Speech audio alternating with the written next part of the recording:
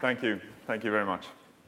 So uh, I'm uh, Rickard Damm, so the Twitter handle Rick Damm here, and I have uh, Lars Ericsson with me here. You will present yourself in a little bit of time here. So we're dividing this presentation as uh, according to our roles in this project, I would say then. So I'm the product, like the head of product for TeliaZone, or the head of TeliaZone, if you wish, uh, for in, uh, in this capacity. So came up with the idea from on a, on a single PowerPoint, like uh, roughly a year ago, a little bit more than that. And then uh, Lars here is representing the implementation side of the lead technologies. So we'll uh, do both sides in this presentation because the actual use cases is, I think, equally interesting as the, as the technology, but they can't live without each other, of course. So Telia, the leading incumbent carrier in the Nordic market, we are like in the telecom space, you would say that we are the like a quad play player. So we have uh, both mobile networks and we have the fixed network with enterprise and consumer consumer plays. So uh, one of the uh, least, well, one of the places where there's been least innovation in our side of the business, according to myself at least, uh, is the broadband side. So on the broadband, I think that everybody in this room at least genuinely understands what this thing does. Uh, that's a router, it does Wi-Fi. So it terminates your Wi-Fi signal to your fiber. And uh, in Sweden, we have a lot of fiber, but we also have ADSL. The connectivity uh, is not important for, for this, uh, this topic, like the backend, if it's ADSL or fiber. We have roughly uh, 1 million of, of these uh, distributed in Sweden. So we're going to focus this presentation specifically around uh, Sweden, but uh, we will be driving or in uh, deploying the TeliaZone also outside of, of, our, of the Swedish market to our core footprint in the Baltics and the Nordics. So we have a million of these. I saw them as an underutilized asset. We have a really great customer relationship when it comes to TV service. So like roughly 60, 70% of our users uh, also subscribe to a TV service from us. That's one way to interact. But nobody hardly has been innovating and doing things with the router in many, many years. So what we started thinking about is, okay, so let's try to see what capabilities are there in this? So I'm going to take you a, a little bit on a, the narrative here is from an end user perspective, and then we're going to walk back and end up in technology, and then the last uh, few slides of the presentation is about the future. So the narrative here is how I explain it to end consumers. Uh, and adding to, adding to this is that uh, roughly half of our install base, the subscribers, are 55 years or older. So if we want to make something smart for the home, a smart home platform, which uh, the TeliaZone is sort of, sort of, uh, we'll have to abstract it quite a few levels above Neo4j, to be quite honest. It has to uh, be a bit more simple. So we unpacked this router. We thought, okay, so what is inside of here? Could we add something? Yes, I think we can. So dear end consumer, we are adding stuff to your router. We're going to do two things for you. We're going to help you simplify your life, and we're going to help you entertain yourself together with others in your home. That, those are the two core value propositions. So how do we, how do, we do that?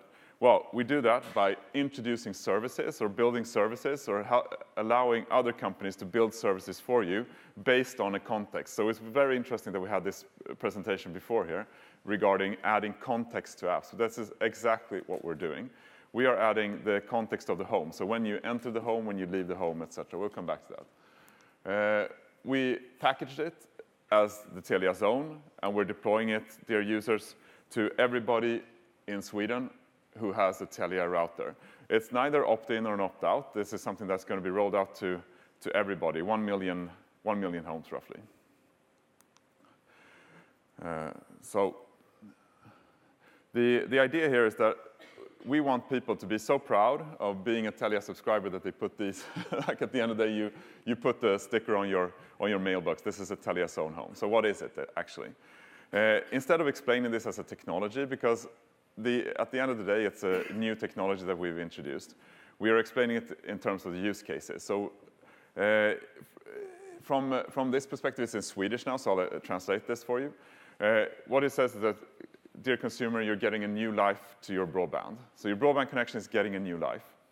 Uh, and your connected home, so the te TeliaZone is the, is the centerpiece of your connected home, but we're not trying to scare away users by trying to push a connected home platform. Instead, we're saying, inviting them to just start experimenting with our, with our service. So for instance, you can get a message when the kids come home.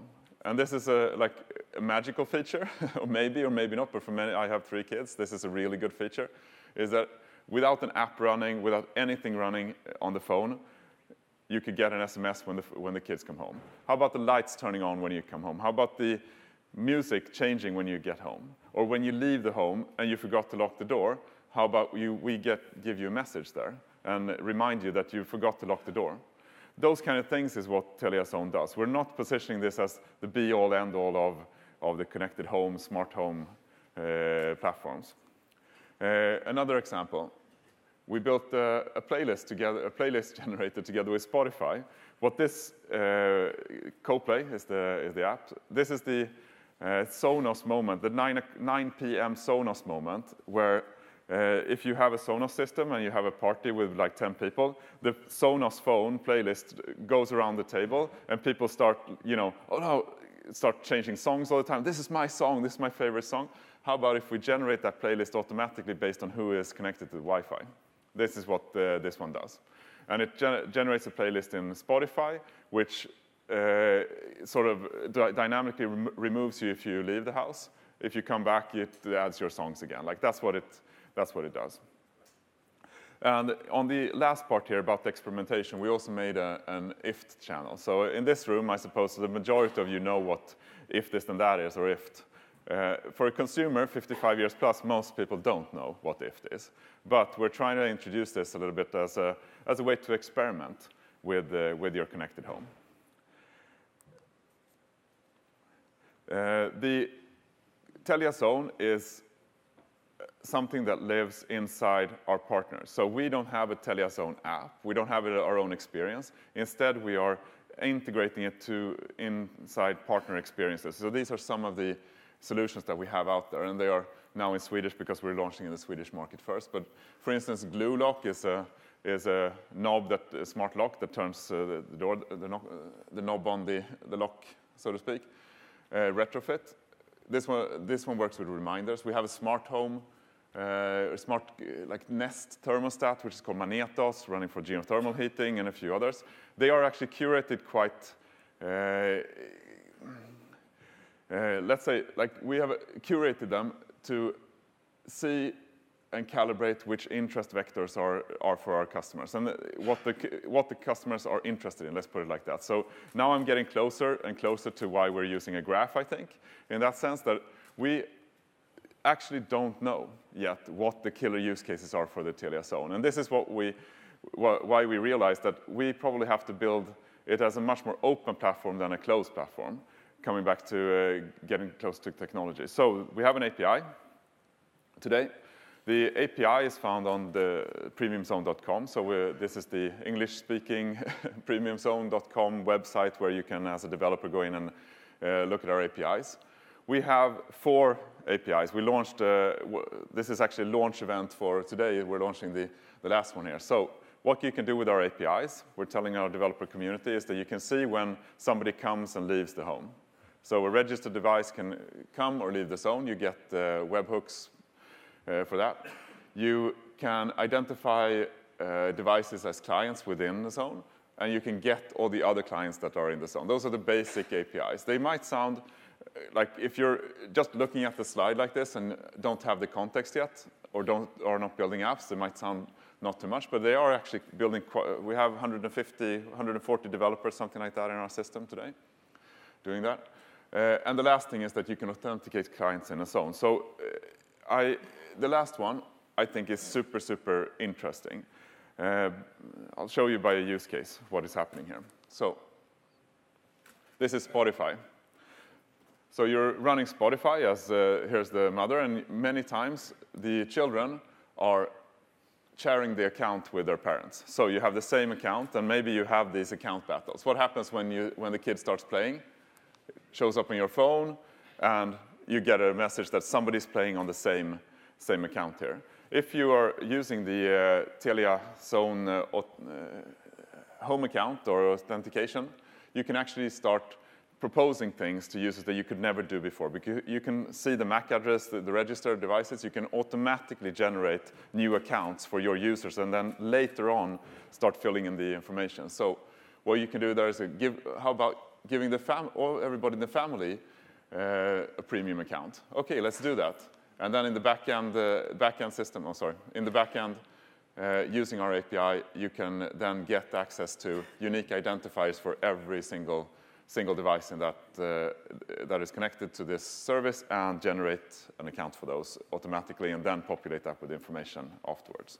So Lars, I'm handing over to you now to just discuss like how we built this on, on Neo and why, probably. Yeah, so let's get into kind of the technology on how, how this actually works. So first, just a, a, a small rundown of kind of how the infrastructure is built up and how we're hosting Neo. And then we're going to get back to kind of how we're scaling Neo and what we use Neo for. Uh, so basically, we run everything on GCP, Google Cloud Platform. And what we've done is we've created like a microservice architecture out of Node.js apps. We're using uh, the Neo driver for Node, and we're hosting a causal cluster within Kubernetes. And we also have some other services around here. This is kind of a, a simplified versions of our architecture. But uh, what this kind of helps us with is it's like it's really easy for us to scale within Kubernetes. Uh, and it's also really easy for us to upgrade. I actually upgraded to Neo 3.2 just before we went up on stage, uh, in development at least. Uh, so what happens then uh, here, if we have a user connecting, what, it, what is actually happening in the back on the backend side? Well, you of course connect to the router. Uh, the router sends a message to our backend, uh, to our node applications, where we then distribute the data out to our storage solutions. So what you see here is that we are actually running more storage solutions than Neo. Uh, they have a little bit of different use cases, all of them. Uh, but we're using Cloud SQL to kind of hold a state of all our routers out there. And then we're kind of building the graph on what's actually important to us and what's important to our applications to make good decisions. Uh, then we're also using BigQuery for some time series stuff.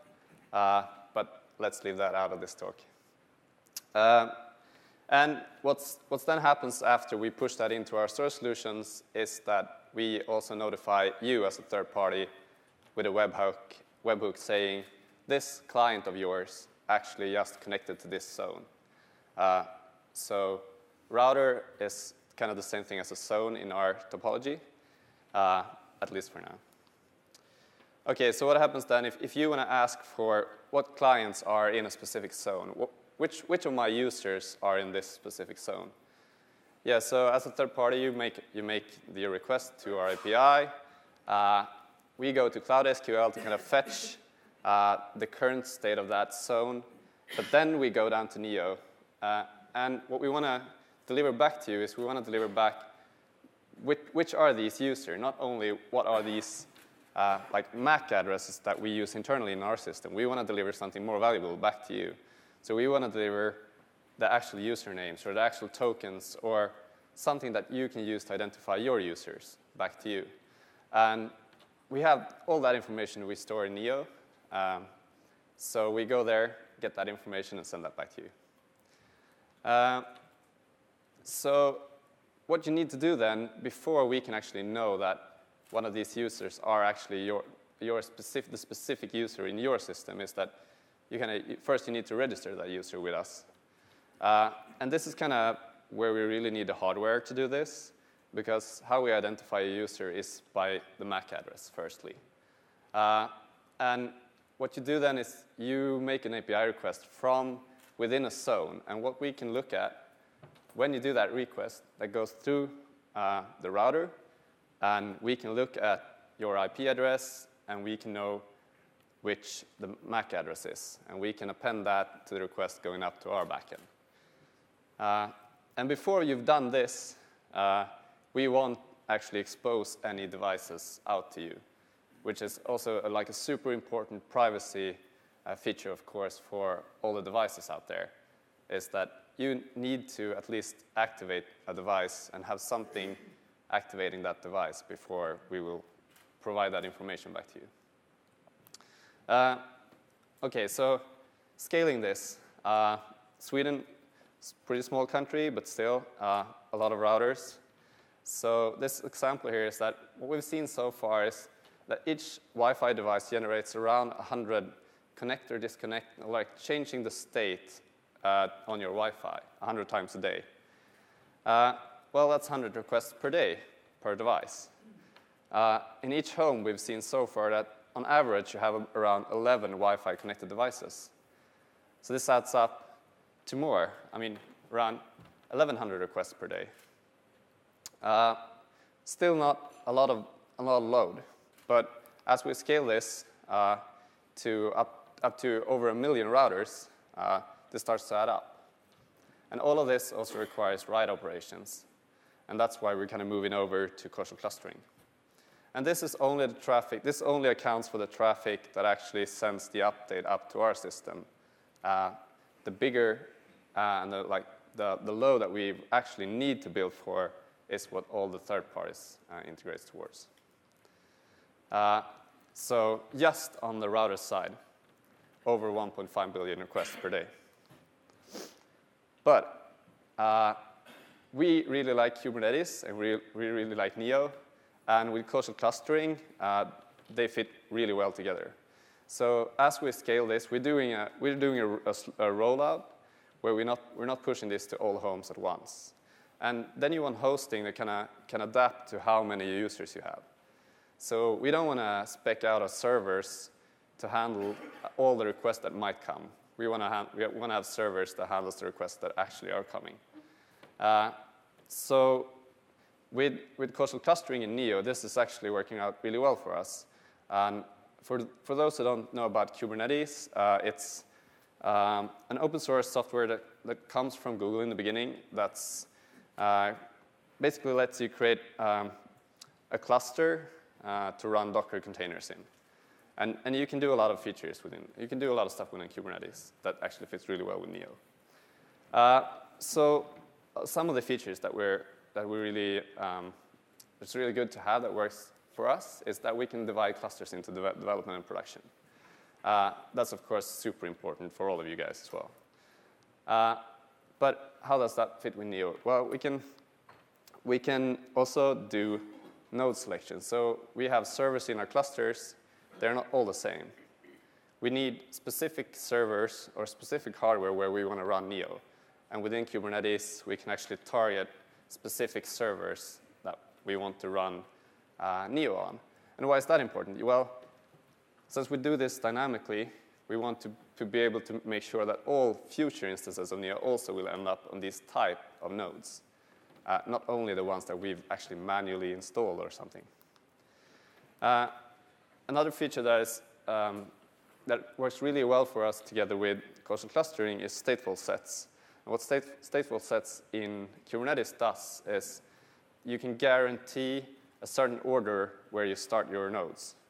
So as we want to scale up, we can guarantee that, um, that some nodes are already there and some, some instances of Neo are already there uh, before we start scaling.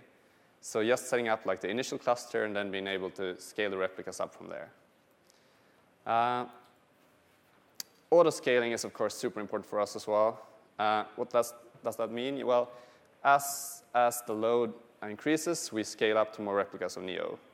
Uh, and what happens then is, like, at one point or another, you kind of grow out of your cluster.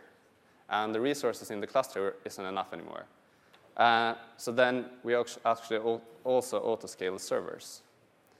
Uh, and so why are we using Neo for this? Uh, well, what we're looking at, as, as you see in here, it's, it's actually already a graph. It's, it's, and also the scalability is super important to us. Uh, and being able to sc scale horizontally without actually knowing what the load might be tomorrow is super important to us. And we have a data model that is constantly changing still. Uh, so just a quick look at the, at the graph. Uh, everything centers around the zone, of course. Uh, and to the zone, we tie relationships with devices.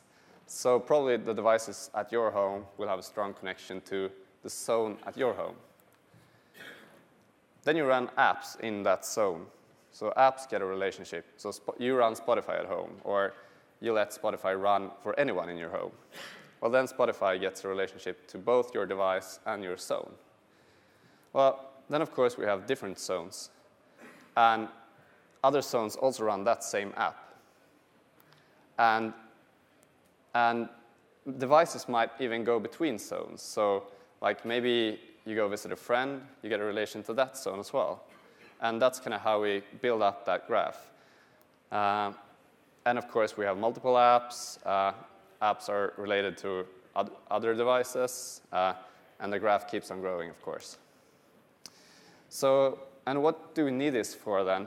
Well, we want to be able to ask questions like, uh, what other devices are running this app? Or what kind of relation do this device have to this other zone? Or maybe we even want to look at predictions. So when is the next time two devices will actually meet or be in the same zone? Uh, and when is the next time uh, you will get home? Or maybe even do some kind of black swan predictions. When is the first time you'll end up at someone's home? Uh, and of course, uh, doing business intelligence on this, uh, looking at when is the time you're most, uh, most likely to um, adapt a new application, for example. Uh, this is super valuable data to us, and this is why we use Neo. Okay, so to, to wrap up a little bit, I would like to uh, peek a little bit into the future. So uh, Telia Zone is a consumer offering. Per definition, we're, we're a consumer brand, first and foremost, as, uh, the, as Telia is in Sweden. So from the consumer offering side, we, are, we want to expand and try to find new services that are very, very relevant. That's one part of, of the predictions. The other part is that we're also expanding this into an intelligence like externalizing the intelligence that we gather as a B2B offering. That is the next thing that is going to happen very much down the road. So this is uh, just a, one graph of, uh, of a, uh, a, subset of households where we have connect and disconnect events, so like people leaving, people coming. And the gray part is, maybe it's hard to see here a little bit, but the, the gray uh, striped part here is our predicted model of what is going to happen. So uh, people, human beings, are very predictable, it seems. We've seen that just with a very simple prediction algorithm, we can quite, uh, well, quite accurately uh, predict when people are, for instance, coming or leaving or being home, etc., on an aggregate. So just to give a glimpse into a little bit what a simple use case out of this could be, I'm uh, taking one example of a food, uh, food delivery app. So this is like a home shopping app for food, so you just shop your your things there, and then you would, uh, oh, sorry, you would uh, uh, get a suggested date to when you can get this delivered. So my, uh, uh, my bag here would be uh, able to be delivered 500 crowns, like 50, 50 euros, next Monday. That's usually what the user experiences look like on, on these apps. With the Premium Zone technology or the Telia Zone brand, we could enrich this quite a lot to become super granular and increase the customer value proposition even more. So in this case, uh, we would have a suggestion for a delivery time, which is over here. It says Monday at 5.30 in the afternoon, because we could propose then to the delivery company or the payment company, in this case Klarna, give them this suggestion. We don't have to give them the entire graph. We don't have to give them the entire sort of like data set. We just suggest one time when we believe, when we believe that this person will be at home. It's of course on the, uh, on the, the users, uh, user has, has of course cons made consent to this before. And when showing this to companies like the postal services and to other delivery services, they go absolutely wild about these ideas because they have had, not had this idea, these things before. It's still on the customer terms, you still have to accept, but the accuracy will be very much increased and also the customer satisfaction is going to be this like delightful, surprising experience. This is just one example of what we, what we can do. We can also deliver very interesting interesting insights. So, for instance, we, we made a, a run on what, what, was the Christmas present of the year. I asked the team here. So, we had a few thousand zones rolled out over Christmas. So, I asked the team, okay, so which new devices were activated after 3 o'clock? So, 3 o'clock is usually when people start opening their presents in Sweden. So, what, which new devices did we see activate after uh, after 3 o'clock, and then we made a, uh, a cross-analysis to the vendors of those, those uh, MAC addresses. And we saw that, for instance, iPhone was 68.8% or something like that of, of all the new devices. So you can do like super interesting analysis of, uh, on the data set that we generate that is totally unique and nobody has thought about in our business before. The, the last thing is like, let's call it a call to action. Maybe not in this set, but I always show this. So the underlying technology can be found in all the descriptions of the APIs in its current form is found under the Premium Zone brand. So we, we have premiumzone.com. So we're positioning this as the, the technology, and we are expanding outside of our footprint sooner or later for sure. We, we have inbound requests from quite a few other operators as well. So let's see where that ends up. I would, I would love for this to become some sort of, uh, some sort of standard. Okay, that was, uh, that was it. Thank you very much. Thank you.